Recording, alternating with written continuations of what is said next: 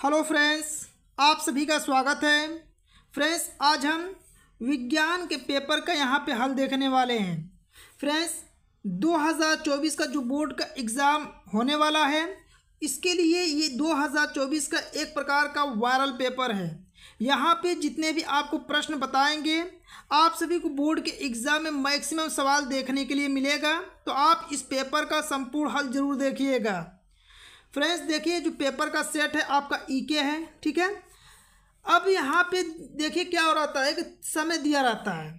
आपको पहले लिखा रहेगा पेपर में यहाँ पे समय, आपका समय कितना रहेगा? तीन घंटा पंद्रह मिनट का समय मिलता है पेपर को हल करने के लिए। और जो इसका पूर्णांक रहता है टोटल सत्तर नंबर का रहता है। यहाँ पे आपको नोट दे दिया जाता है कि आपको यहाँ पे कुछ निर्देशांक, निर्देश दिया जाता है। उस निर्देश को आप ज़रूर देख लीजिएगा।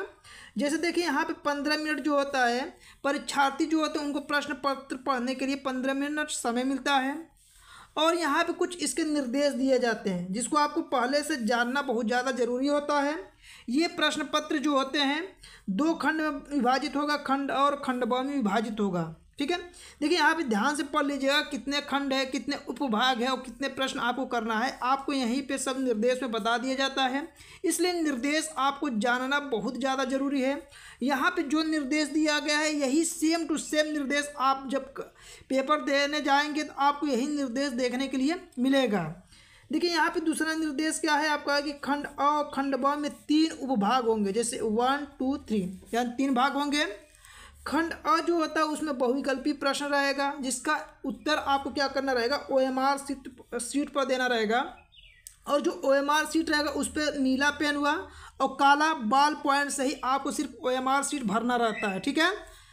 अब देखिए ओ एम आर सीट पर आप यदि एक बार उत्तर दे देते हैं तो उत्तर देने के बाद उस पर न इरेजर का प्रयोग कर सकते हैं, न उसे आप काट सकते हैं, न वाइटनर का। यानी आप एक बार ओ एम आर सीट भर देंगे तो उस ओ एम आर सीट में आप किसी प्रकार का परिवर्तन नहीं कर सकते हैं, ठीक है? खंड अ में जितने भी बहुविकल्पी प्रश्न हैं, सभी एक एक नंबर का रहता है। खंड ब जो होता है, उसमें वर्णात्मक प्रश्न रहेंगे। सभी प्रश्न आपको बताएँगे, बस वीडियो को लास्ट तक देखिए।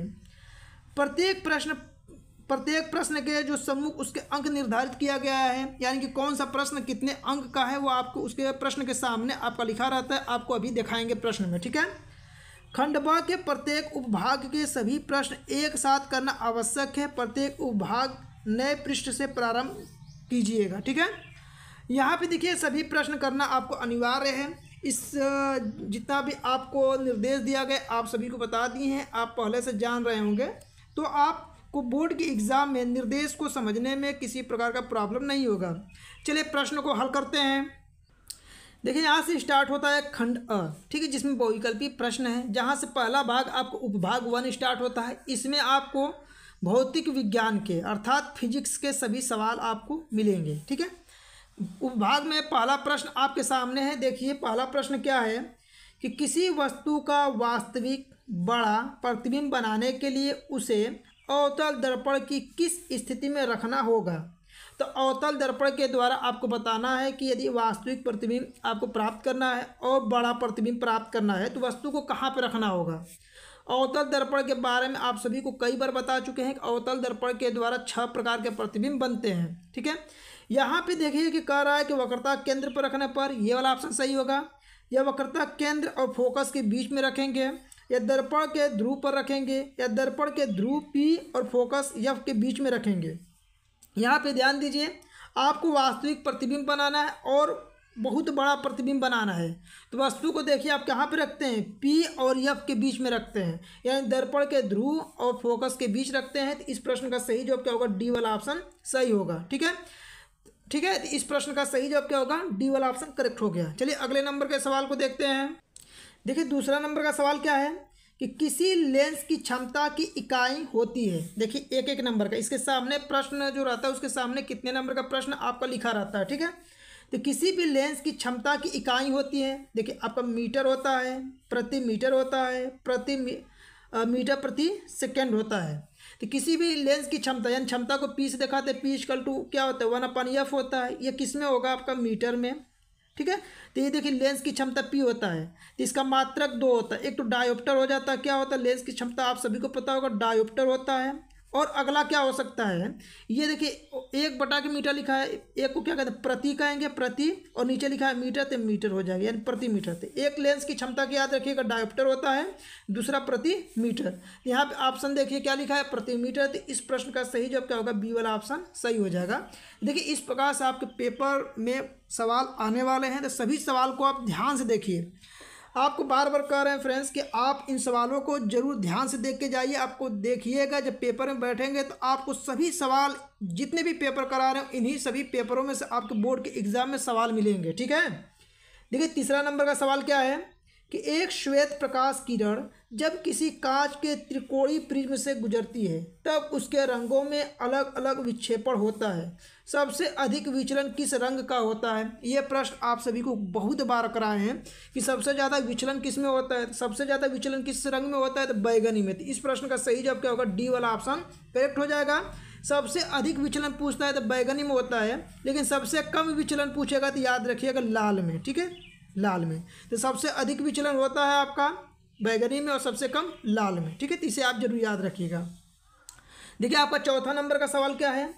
कि सूर्य श्वेताप प्रतीत होता है। मतलब श्वेताप के मतलब एकदम सफ़ेद रंग के जैसा प्रतीत कब होता है? सूर्योदय के काफ़ी पूर्व में तो ऐसा कुछ नहीं, उस समय लालिमा टाइप दिखाई देता है। सूर्योदय, सूर्यास्त के सूर्यास्त के समय तो इस समय भी आपका क्या होता है कि आपको लालिमा टाइप जैसे सूर्य उगता है तो देखते होंगे लालिमा टाइप दिखाई देता है। और सूर्य जब अस्त होता है, तभी आपको लालिमा टाइप दिखाई देता है तो ये भी ऑप्शन नहीं होगा, ये भी ऑप्शन सही नहीं होगा। सूर्यास्त के काफ़ी बात, ऐसा कुछ नहीं है, सूर्यास्त जब हो जाता है तो उस समय अंधेरा हो जाता है। दोपहर के समय। आप दोपहर बारह बजे के करीब देखिएगा, जब सूर्य एकदम ऊपर रहता है तो उस समय आपको क्या होता है कि आप जो सूर्य सूर्य की जो रोशनी आती है, एकदम सफ़ेद जैसा आपको दिखाई देता है। तो इस प्रश्न का सही जवाब क्या होगा? सी वाला ऑप्शन करेक्ट हो जाएगा, ठीक है? समझ में आ गया होगा? सूर्य श्वेताप मतलब सफ़ेद रंग का कब प्रतीत होता है? दोपहर के समय दिखाई देता है आपको। अगला नंबर पाँचवा नंबर का देखिए सवाल क्या है? किसी विद्युत चालक का प्रतिरोध निम्नलिखित में से किस पर निर्भर नहीं करता यहाँ पे निर्भर नहीं करता है ना? देखिए, आपको ये प्रश्न कई बार बताएँ कि ये देखिए, फार्मूला याद होगा R is equal to row L अपन ये होता है। इसका मतलब ये होता है कि जो प्रतिरोध होता है, लंबाई पर निर्भर करता है और अनुप्रस्थ काट के क्षेत्रफल पर निर्भर करता है, ठीक है? और उसके घनत्व के ऊपर उसका आकार कैसा है? तो आकार पर निर्भर नहीं करता है। यानी कि देखिए, इसकी लंबाई पर निर्भर कर रहा है। चालक के पदार्थ के घनत्व पर निर्भर करेगा। चालक का अनुप्रस्थ काट के क्षेत्रफल पर भी निर्भर करता है। लेकिन प्रतिरोध कभी भी किस आकार का है, उसके आकार पर निर्भर नहीं करता है। तो इस प्रश्न का सही जवाब क्या होगा? डी वाला। इसलिए कि ऑप्शन नहीं पूछा है कि प्रतिरोध निम्नलिखित में किस पर निर्भर नहीं करता है। तो किस पर निर्भर नहीं करता है? चालक का आकार पर ठीक है? चलिए अगले नंबर के सवाल को देखते हैं। देखिए, आपका अगला नंबर छठवां नंबर का क्वेश्चन क्या है? कि कब चार विद्युत चालकों को समायोजन बनाने पर उनका परिणाम प्रतिरोध न्यूनतम होगा? यहाँ पे शब्द देखिएगा न्यूनतम प्रतिरोध पूछा है, देखिए, यहाँ पे आपसे जब भी प्रतिरोध के बारे में पूछते कि न्यूनतम अर्थात कम, यानी किस क्रम में प्रतिरोध को जोड़ा जाए कि उसका प्रतिरोध न्यूनतम हो या कम हो तो देखिए, दो चीज़ बता रहे हैं आपको। उसको देखिए, कम कहेगा तो समांतर में जोड़ा जाता है, समांतर में। और जब अधिक कहेगा, यानी कि प्रतिरोध कब जोड़ें कि उसका तुल्य प्रतिरोध या परिणामी प्रतिरोध अधिकतम आए? तो उसे श्रेणी क्रम में जोड़ा जाता है। ठीक है, ये प्रश्न आपका पूछता है। यहाँ पे पूछा है कि उनका परिणामी प्रतिरोध न्यूनतम कब होगा? तो उसे किस क्रम में जोड़ेंगे? समांतर में। चलिए ऑप्शन को देख लेते हैं। सभी को समांतर क्रम में जोड़ा जाएगा। इसका सही जब क्या होगा? ए वाला ऑप्शन सही हो जाएगा। अगले ऑप्शन को देख लीजिए। सभी को श्रेणी क्रम में जोड़ा जाए, यानी जोड़ा जाएगा तो इस समय प्रतिरोध क्या होगा? अधिक होगा। क्या होगा? अधिक। ऑप्शन न्यूनतम पूछा है तो ये वाला ऑप्शन सही होगा। एक को श्रेणी क्रम में तथा तीन को समांतर क्रम में तो ऐसा तो होगा नहीं। दो को श्रेणी क्रम तथा शेष दो को समांतर क्रम ऐसा भी नहीं होता है। यानी अधिक पूछे तो श्रेणी क्रम और कम पूछे तो समांतर क्रम है बस इतना याद रखिए। अगले नंबर के प्रश्न को देखते हैं। देखिए, अगला नंबर का प्रश्न क्या है आपका? सातवां नंबर का देखिए। जितने प्रश्न करा रहे हैं, सभी को ध्यान से देख तैयार कर लीजिए। यही प्रश्न आपको मिलेगा बोर्ड के एग्ज़ाम में, ठीक है? देखिए, सातवां नंबर का सवाल क्या है कि एक विद्युत धारावाही चालक के कारण उत्पन्न चुंबकीय क्षेत्र की दिशा ज्ञात करने के लिए निम्नलिखित में से किस नियम की सहायता लिया जाता है? यहाँ पे देखिए, किसका है? चुंबकीय क्षेत्र की दिशा ज्ञात करना है ना, कि चुंबकीय क्षेत्र की यदि दिशा ज्ञात करना है तो किस नियम का प्रयोग किया जाता है? तो देखिए, यहाँ पे ऑप्शन पढ़िए। फ्लेमिंग के दाएँ हाथ का नियम, फ्लेमिंग के बाएँ हाथ का नियम, दाहिने हाथ के अंगूठे का नियम या ओम का नियम। तो देखिए, यहाँ पे कि एक विद्युत धारावाही चालक के कारण उत्पन्न चुंबकीय क्षेत्र की दिशा ज्ञात करने के लिए निम्नलिखित में से किस नियम का प्रयोग करते हैं? तो फ्लेमिंग के बाएँ हाथ का नियम प्रयोग करते हैं। तो इसका सही जवाब क्या होगा? बी वाला ऑप्शन सही हो जाएगा, ठीक है? चलिए अगले नंबर के क्वेश्चन को देखते हैं। देखिए, आपका अगला उपभाग टू स्टार्ट होता है, ठीक है? जिसमें आपका आठवां नंबर का सवाल है, ठीक है? अब यहाँ से रसायन विज्ञान के सभी सवाल प्रारंभ होते हैं आपके, ठीक है? अभी भौतिक विज्ञान के सभी प्रश्न उपभाग वन में किए हैं, अब उपभाग टू में रसायन विज्ञान के सवाल करने वाले हैं। देखिए, क्या है कि निम्नलिखित में से कौन सी धातु ठंडे जल से हाइड्रोजन गैस निकालती है? ठीक है? तो देखिए, आपको सक्रियता श्रेणी पढ़ाए थे। सक्रियता श्रेणी में आप सभी को बताए थे कि जो सक्रियता श्रेणी में सबसे ऊपर रहता है, वो हाइड्रोजन को विस्थापित करता है। जिसे पोटेशियम, सोडियम, ये पोटेशियम सबसे ऊपर है तो यही आपको क्या करेगा? आपको हाइड्रोजन को विस्थापित करेगा। तो देखिए, यहाँ पे लिखा है, तांबा होगा, सोना होगा, एल्यूमिनियम होगा या पोटेशियम होगा। तो यहाँ पे क्या होगा आपका सही जवाब? सी वाला ऑप्शन सही हो जाएगा, पोटेशियम। अगले नंबर के सवाल को देखते हैं, नौ नंबर का। निम्नलिखित में से कौन सा एल्किन का सूत्र है? तो आपको बार बार पता है कि एल्किन का यदि पता करना है, देखिए, आपका तीन होता है। एक होता है एल्केन। तीनों को बता देना, आप ध्यान रखें, तीनों में से कोई एक बोर्ड के एग्ज़ाम मिल जाएगा। एक होता है एल्केन एक होता है एल्किन एल्किन, और एक होता है एल्काइन एल्काइन। ठीक है, तीनों को ध्यान समझिए। एल्केन में क्या होता है? सिंगल बाड इस तरह लगा रहता है। और एल्कीन में क्या होता है? डबल बाड रहता है और एल्काइन में क्या होता है? ट्रिपल बाड इस तरह लगा रहता है। तो जिसमें एकल बाड होगा तो एल्केन कहलाएगा, जिसमें डबल बाड होगा एल्किन कहलाएगा, जिसमें ट्रिपल बाड होगा एल्काइन कहलाएगा।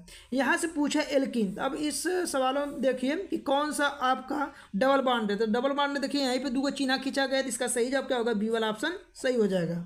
यह देखिए आपका क्या है एल्केन है और ये क्या है आपका एल्काइन है। ठीक है, समझ में आ गया होगा। इस सवाल को आप ज़रूर जैसे बताएँ, इस प्रकार से आप तैयार कर लीजिए। अगला सवाल देखिए, दसवां नंबर का क्या है आपका?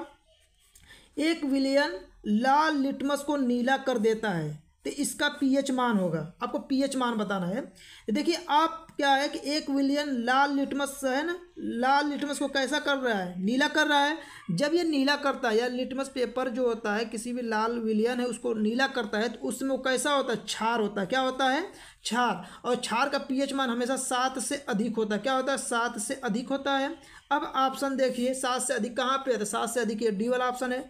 इसका सही जवाब क्या होगा? डी वाला ऑप्शन करेक्ट हो जाएगा, ठीक है? समझ में आ रहा होगा आप सभी को? तो लाल लिटमस क्या करता है? जब लिटमस पेपर होता है, वो लाल लिटमस को नीला कर देता है तो नीला करेगा तो इसका मतलब वो छार होता है। छार ही क्या करता है? लाल लिटमस को नीला करता है, और ये सात से अधिक इसका पीएच मान होता है, ठीक है? आपको समझ में आ गया होगा। अगला देखिए, क्या है आपका? ग्यारह नंबर का, कि क्लोरीन के अणु में आबंध पाया जाता है। यानी क्लोरीन का जो अणु होता है, उसमें आबंध कैसा पाया जाता है, ये बताना है। जो क्लोरीन होता है उसमें आबंध कैसा पाया जाता है? तो एक सह संयोजी आबंध होता है तो इसका सही जवाब क्या होगा? बी वाला ऑप्शन करेक्ट हो जाएगा कि क्लोरीन के अणु में आबंध पाया जाता है तो एक सह संयोजी आबंध पाया जाता है, ठीक है? चलिए अगले क्वेश्चन को देखते हैं। देखिए बारह नंबर का, जल को जीवाणु रहित बनाने में उपयोगी पदार्थ है। देखिए आपको यह कई बार पढ़ा है कि जल को शुद्ध करना या जीवाणु रहित बनाना है तो उसमें कौन सा पदार्थ प्रयोग किया जाता है? तो उसमें प्रयोग किया जाता है ब्लीचिंग पाउडर या जिसे ब्लीचिंग पाउडर को ही व्यंजक चूड़ के नाम से भी जाना जाता है। यहाँ पर इसका सही जब क्या होगा? डी वाला ऑप्शन सही हो जाएगा कि जल को जीवाणु रहित या शुद्ध करना है तो वहाँ पे कौन सा पदार्थ प्रयोग करते हैं? विरंजक चूड़ प्रयोग करते हैं, ठीक है? विरंजक चूड़ कहेंगे या इसी को और किस नाम से जानते हैं? तो ब्लीचिंग पाउडर के नाम से भी जानते हैं। आप घर में प्रयोग करते हैं, आप देखे होंगे, जैसे काई रहता है तो उसको साफ़ करने के लिए सफ़ेद जैसा पाउडर छिड़का जाता है ना, जिससे काई साफ़ हो जाता है तो वही विरंजक चूड़ ही होता है, ठीक है? अगला नंबर देखिए, आपका क्या है? तेरह नंबर का। सवाल देखिए, जिन अभिक्रियाओं में आयनों के विनिमय से नए यौगिक बनते हैं, उन्हें कहते हैं, ठीक है? जिन अभिक्रियाओं के आयनों के विनिमय, जब आयनों का विनिमय होता है तो नया यौगिक बनता है तो उसे क्या कहा जाएगा, ठीक है? तो देखिए, इस प्रश्न का सही जवाब क्या होगा? उभय अवघटन कहलाता है। आयनों के द्वारा जब बनता है तो उसे क्या सा अभिक्रिया कहते है? तो उभय अवघटन अभिक्रिया कहते हैं। अगला देखिए, यहाँ से देखिए, अब उपभाग तीन स्टार्ट होता है, जिसमें जीव विज्ञान के सभी इम्पोर्टेंट सवाल हैं। ठीक है, अब यहाँ से जीव विज्ञान स्टार्ट होता है आपका। देखिए, चौदह नंबर का क्या है कि पादप में जाइलम का कार्य होता है। तो देखिए, इस सवाल को आपको कई बार बताए हैं कि यहाँ से ज ले लीजिए और यहाँ से ल ले लीजिए। यहाँ ज हो गया और ल। और ज और ल मिल के मिल क्या हो जाएगा? जल हो जाएगा। ज यहाँ से ज लिए हैं और यहाँ से ल, ज और ल मिल के हो जाएगा जल। इसका मतलब होता है कि जाइलम का जो कार्य होता है, क्या होता है? जल का वहन करती है। तो इसका सही जब क्या होगा? ए वाला ऑप्शन सही हो जाएगा। ठीक है? एक आपसे प्रश्न पूछता है, फ्लोएम के बारे में बार बार पूछता है, ये बार बार आपको बताते रहते हैं। फ्लोएम के बारे में, ठीक है? फ्लोएम जो होता है, भोजन का संवहन करता है। कहाँ पे? पादप पे, पेड़ पौधों में। पेड़ पौधों में भोजन का संवहन कौन करता है? फ्लोएम पादप में कौन करता है? मतलब पादप में जल का संवहन कौन करता है? तो जाइलम करता है, इसे याद रखिएगा, ठीक है? अब देखिए, आपके सामने पंद्रह नंबर का क्वेश्चन क्या है, ठीक है? आनुवंशिकता के प्रयोग के लिए मेंडल ने निम्नलिखित में से कौन सा पौधा उपयोग किया था? ये तो सबसे ज़्यादा सिंपल सवाल है। तो किसका पौधा प्रयोग किया था? तो मटर का पौधा का। किसका? मटर के पौधे का प्रयोग आनुवंशिकता के नियम को प्रयोग करने के लिए मेंडल ने किया था। तो इसका सही जवाब सी वाला ऑप्शन सही हो जाएगा। ठीक है? अगले नंबर के सवाल को देखते हैं। देखिए, यहाँ पे सोलह नंबर का है आपका कि निम्नलिखित में से कौन मानव में मादा जनन तंत्र का भाग नहीं है? यहाँ पे मानव मानव में जो मादा है मादा जनन तंत्र का भाग आपको नहीं बताना है कि इसमें कौन सा नहीं है। यहाँ देखिए, अंडाशय जो होता है, मादा में पाई जाती है, गर्भाशय भी पाया जाता है, जबकि डिम्बवाहिनियाँ भी होती है। लेकिन शुक्रवाहिका जो होता है, मादा में नहीं पाया जाता पाया जाता है तो इसका सही जब क्या होगा? सी वाला ऑप्शन सही हो जाएगा। तो देखिए, शुक्रवाहिका कहाँ पर पाया जाता है? तो नर जनन जो तंत्र होते हैं, उसमें शुक्रवाहिका पाए जाते हैं, ठीक है? नर जनन तंत्र जो होते हैं, उसमें शुक्रवाहिका होते हैं। जबकि याद रखिएगा, मादा जनन तंत्र में अंडाशय है, गर्भाशय है, डिम्बवाहिनियाँ, ये सब पाया जाता है, ठीक है? अगला नंबर सवाल देखिए, सत्रह नंबर का सवाल क्या है? कि स्वपोषी पोषण के लिए आवश्यक है।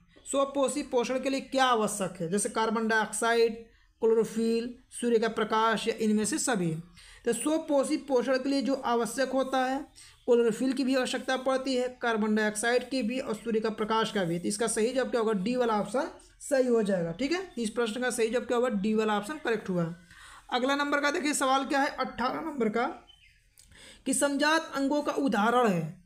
तो ऑप्शन है कि हमारा हाथ और कुत्ते का अग्रपात। ये समझात अंग में आते हैं। हमारे दांत और हाथी के दांत हुआ। आलू एवं घास के ऊपरी भू स्तरी भाग। ये सब क्या होता है? समझात अंगों के उदाहरण है। तो इस प्रश्न का सही जब क्या होगा? डी वाला ऑप्शन सही हो जाएगा। ठीक है? चलिए अगले नंबर के सवाल को देखते हैं।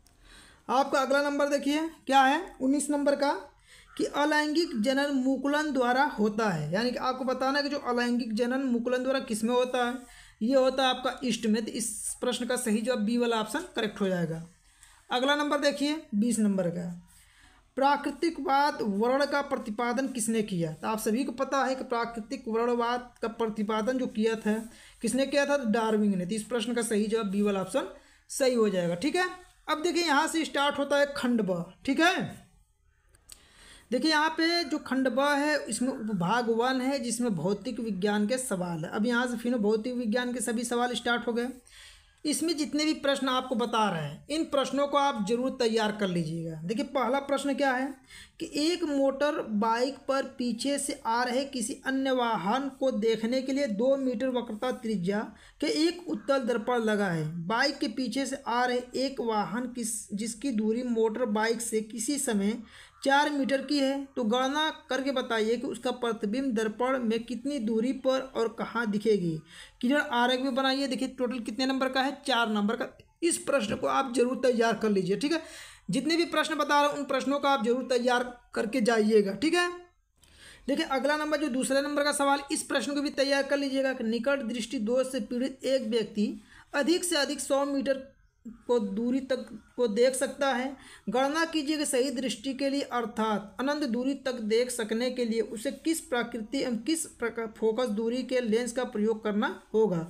किरण आरेख भी बनाइए, टोटल कितने नंबर का? चार नंबर का, ठीक है? तो इन प्रश्नों को आप ज़रूर तैयार कर लीजिए।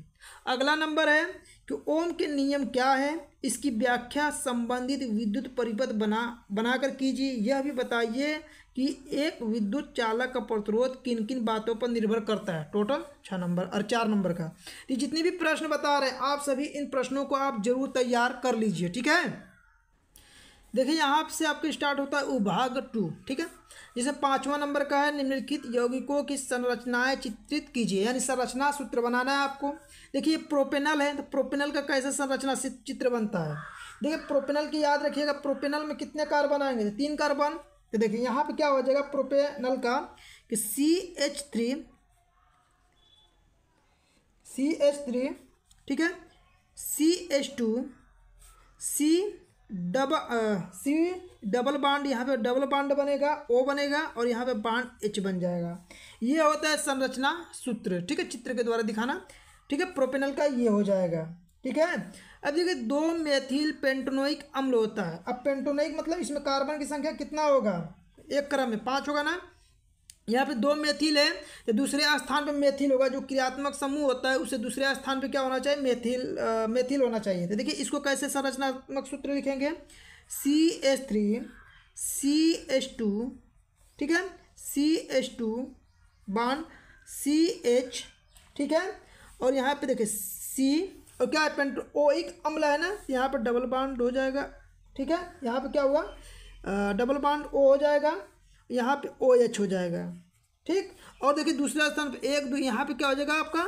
मेथिल है तो यहाँ पे आपका क्या हो जाएगा? मेथिल हो जाएगा। यहाँ पे क्या होगा? सिर्फ़ इस तरह रहेगा मेथिल सी एच थ्री हो जाएगा, ठीक है? तो टू मेथिल पेंटोनिक अम्ल का ये बन जाता है, संरचनात्मक सूत्र। यहाँ देखिए प्रोपीन का क्या बनेगा? तो प्रोपीन में इन आ रहा है, यहाँ इसमें क्या होगा? डबल बाउंड होगा। तो C H three C H double bond C H to ये होता है प्रोपीन का सूत्र। अब देखिए इसका सूत्र क्या होगा? टू मेथिल ब्यूटे नाल तो टू दो मेथिल ब्यूटे नाल में, देखिए एक क्रम में कितने कार्बन होगा? तो चार कार्बन होंगे। तो देखिए इसका संरचनात्मक सूत्र कैसे बनेगा? तो ये बनेगा सी एच थ्री बाड C H two bond C bond C H three C H three यहाँ से देखिए क्या है, टू मेथिल, टू ब्यूटेनाल है। तो यहाँ से दूसरे स्थान पर आल होना चाहिए तो ओ एच होगा, यहाँ पे क्या हो जाएगा सी एच थ्री हो जाएगा। तो देखिए, जैसे बताएँ इसी तरह संरचनात्मक सूत्र आप बोर्ड के एग्ज़ाम बनाएगा देखिए टोटल चार प्रश्न था टोटल एक एक नंबर मतलब टोटल चार नंबर का प्रश्न था, ठीक है? तीन प्रश्नों का आप ज़रूर तैयार कर लीजिए। अगला नंबर का देखिए, आपके सामने सवाल क्या है? छठवां नंबर का। एन एम जी एल के तत्व हैं, जिनमें से संयोजकता इलेक्ट्रॉनों की संख्या क्रमशः एक, दो तथा तीन है। यानी कि यहाँ पे आपकी संयोजकता दे चुका है। किसकी परमाणु त्रिज्या अधिकतम होगी? कौन सबसे कम अभिक्रियाशील है? प्रत्येक के लिए कारण सहित आपको उत्तर देना है। इन प्रश्नों को आप तैयार कर लीजिए। अगला नंबर सातवां नंबर का देखिए, इस प्रश्न को आप कैसे करेंगे? जो कि आपको कई बार भी ये प्रश्न करा चुके हैं, देखिए। इसमें छह प्रश्न पूछा है, आपको एक एक नंबर का है छः छः नंबर का टोटल कितने नंबर का प्रश्न है? छः नंबर का निम्नलिखित अभिक्रियाओं में प्रत्येक के लिए संतुलित रासायनिक समीकरण आपको लिखिए लिखना है। यानी देखिए, यहाँ पे plaster of Paris plus dot dot dot gypsum प्राप्त करना है। तो प्लास्टर ऑफ़ पेरिस किसके साथ क्रिया करेगा? तो जिप्सम होगा तो ये होता है जल। किसके साथ? जल। जल के साथ क्रिया करेगा तो आपका जिप्सम प्राप्त हो जाएगा। हाइड्रोजन प्लस क्लोरीन, यानी हाइड्रोजन और क्लोरीन जब आपस में क्रिया करेगा तो क्या बनेगा? तो हाइड्रोक्लोरिक अम्ल बन जाता है। क्या बनता है? हाइड्रोक्लोरिक, क्लोरिक अम्ल बनता है। जो कि ये प्रश्न अभी जल्दी ही, आप सभी को कराए हैं। आप डेली बाय डेली वीडियो देखते होंगे तो इन प्रश्नों को आप देखे होंगे, ठीक है? जिंक कार्बोनेट देखिए, अब जिंक कार्बोनेट यदि आप क्रिया करता है तो जिंक ऑक्साइड बनता है और इसमें से आपका क्या बनता है? यहाँ से आपका कार्बोनेट अलग हो जाता है। क्या होता है? कार्बोनेट हो जाता है। कार्बोनेट। कार्बोनेट हो जाएगा, ठीक है? चलिए, अगले प्रश्नों को देखते हैं साथ में।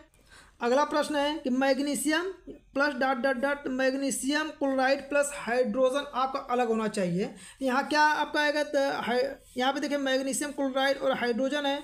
तो यहाँ पे क्या आपका आएगा? किसके साथ ये क्रिया करेगा? तो ये आपका हो जाएगा हाइड्रोक्लोरिक अम्ल। क्या हो जाएगा? हाइड्रो हाइड्रोक्लोरिक क्लोरिक हाइड्रोक्लोरिक अम्ल। ठीक है? ये इसके साथ क्रिया करेगा तो आपको मैग्नीशियम क्लोराइड प्लस हाइड्रोजन मिलेगा।